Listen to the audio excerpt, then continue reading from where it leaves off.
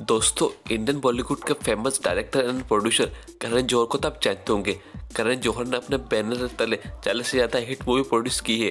ये हर बार नए star kit को लाने की कोशिश करते हैं। तो आज की वीडियो में हम बात करने वाले करण जौहर के lifestyle biography and life story के बारे में। अगर आप करण जौहर का फ़ैन है, इनकी मूवी देखना पसंद करते हैं तो प्लीज़ इस वीडियो में तक ज़रूर बने रहेगा। अगर आपको वीडियो अच्छी लगे तो प्लीज़ इस वीडियो को लाइक करके सब्सक्राइब ज़रूर करते हैं चलिए वीडियो में आगे बढ़ते हैं इनके रियल नेम से। तो इनका रियल नेम है करण कुमार जौहर राहुल कुमार जौहर।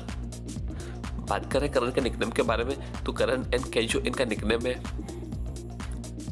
करण प्रोफेशन से एक director producer writer and TV host भी है। चलिए बात करते हैं करण के पर्सनल इन्फॉर्मेशन के बारे में। तो बात करेंगे डेट ऑफ़ बर्थ के बारे में तो 25 मई उन्नीस की डेट ऑफ़ बर्थ है। बात करें इनकी एज की तो इक्यावन साल के हो चुके हैं, दो हज़ार तेईस के हिसाब से। और इनका बर्थ प्लेस मुंबई, जो कि महाराष्ट्र में है। नेक्स्ट करण के एजुकेशन के बारे में आपको बताएँ। तो करण ने अपनी स्कूल की पढ़ाई green lawns high school Mumbai से अपनी स्कूल की पढ़ाई कंप्लीट की।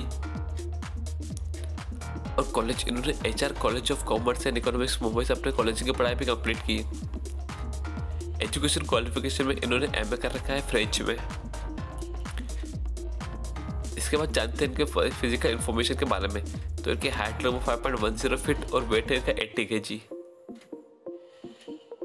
आई कलर की बात करें तो आई कलर इनका डार्क ब्राउन है और हेयर कलर इनका ब्लैक है। नेशनलिटी से कारण एक इंडियन है और इनका रिलीजन है हिंदुज्म चलिए अब आगे बढ़ते हैं करण के करियर के बारे में।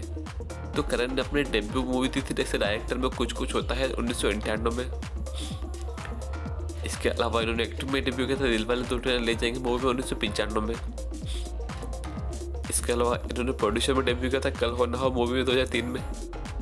इसके अलावा कई मूवी इन्होंने दी है।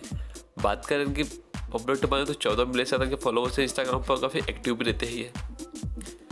चलिए मिलवाते हैं इनकी फैमिली से आपको। इनका फादर है, इनका नाम है यस जौहर, जो कि प्रोड्यूसर थे, जो इस दुनिया में नहीं है। इनकी मदर का नाम है हीरो जौहर इन आप इस में देख सकते हैं। बात करें, मेटल स्टेटस की तो अनमेड है और सेक्सुअल ओरिएंटेशन में ये गे है। बात करेंगे सन और डॉटर की तो यश जौहर और रूही डॉटर, ये की सरोगेट सन और डॉटर है इनके। चलिए बात करते हैं इनकी हॉबीज़ के बारे में। तो करण की फेवरेट हॉबी है collecting old things and antiques next बात करते हैं इनके फेवरेट के बारे में। तो इनका फेवरेट कलर है ब्लैक व्हाइट एंड गोल्डन जी हाँ तीनों इनके फेवरेट कलर है। फेवरेट फ़ूड की बात कर ली जाए तो पार्सी फ़ूड और इटालियन फ़ूड इनका फेवरेट है। ये वेजिटेरियन है।